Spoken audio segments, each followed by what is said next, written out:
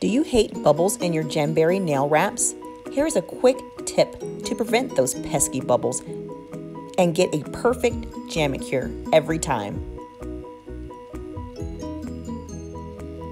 First, you want to apply your Jamberry nail wrap cold. That's right, no heat.